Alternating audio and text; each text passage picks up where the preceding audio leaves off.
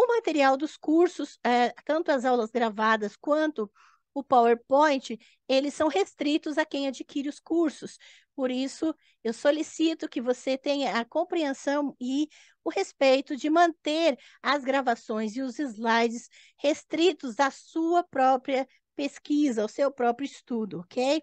Não, é, não deve reproduzir, principalmente porque este ainda é o meu único meio de trabalho e renda é, a partir do meu trabalho. Então, eu solicito essa compreensão e que, se você quer ajudar e contribuir para o meu sustento, para os medicamentos, meu tratamento médico e acompanhamento terapêutico, você pode também divulgar esses cursos adiante, trazer mais pessoas para adquiri-los e assim você me ajuda.